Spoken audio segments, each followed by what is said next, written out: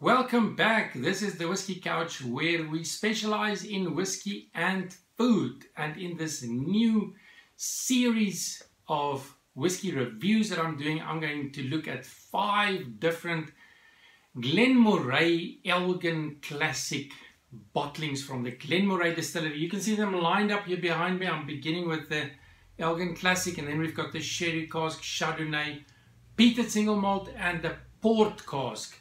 So an exciting new series that I'm going to do.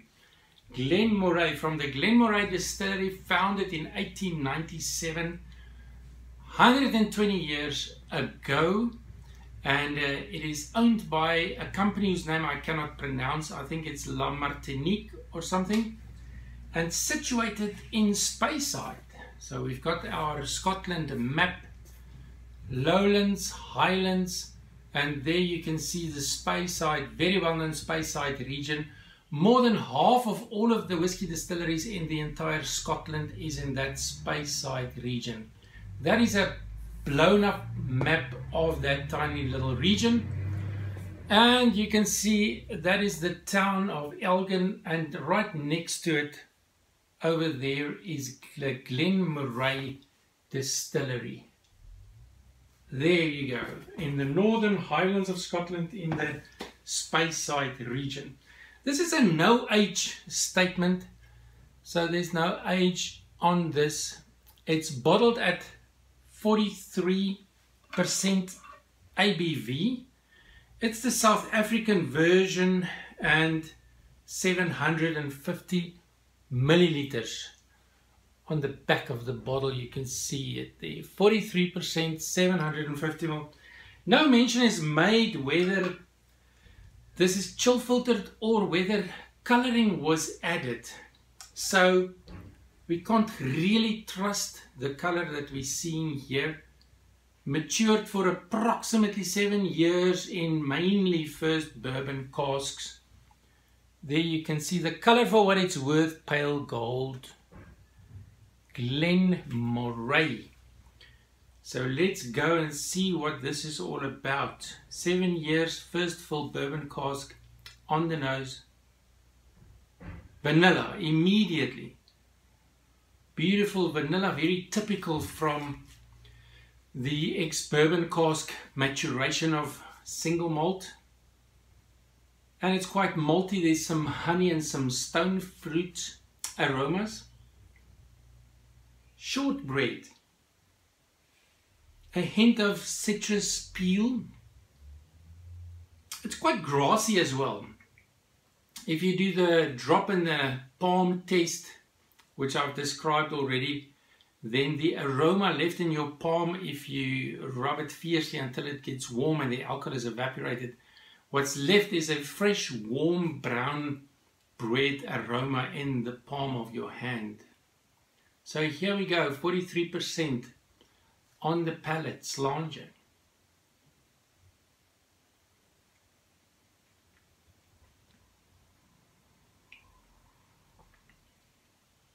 Sweet, fruity.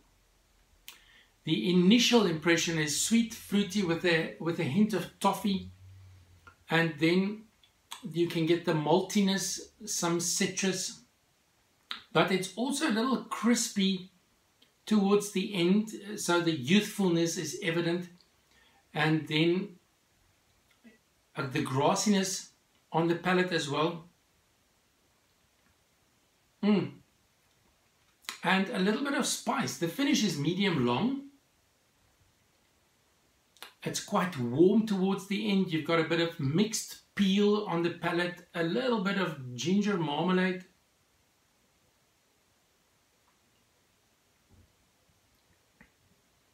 Hmm. Quite, quite delicious.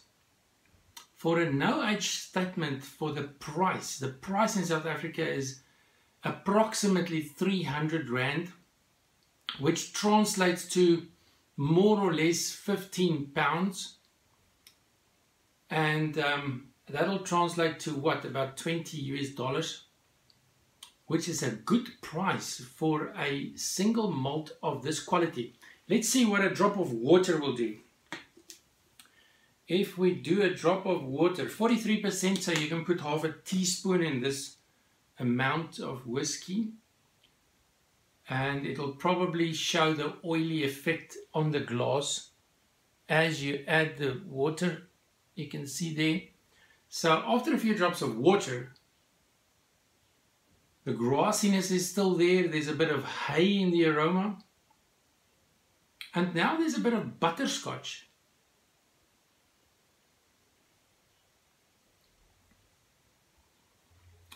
Soft vanilla with lightly spiced honey towards the end. So after water, on the nose, grassy, hay, butterscotch, and on the palate, soft vanilla, lightly spiced honey. I doubt whether it's worthwhile to add water. This is probably one of those jams that you want to enjoy without water.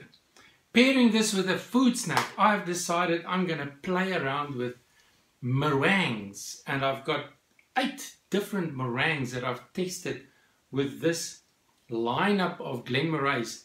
The one that works best for the Glen Moray Elgin Classic, which this is, is the pomegranate, pomegranate flavored meringues. So it's quite brittle, it's soft, it's light. It's just wonderful. So we're going to see how this works. Here we go. Mmm. Melts in your mouth, the sweet, fruity pomegranate flavor.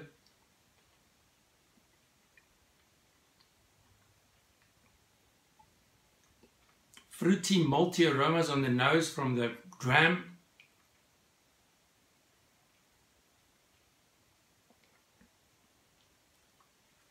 and it brings out the maltiness of this dram.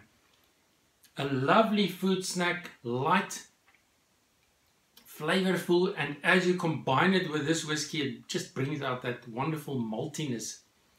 Quite a delicious pairing, food snack pairing with this Glen Moray Elgin Classic single malt. Excellent value for money. In our next video, I'm going to move on towards the Glen Moray Elgin Classic Sherry Cask Matured right behind me. Until then, sláinte.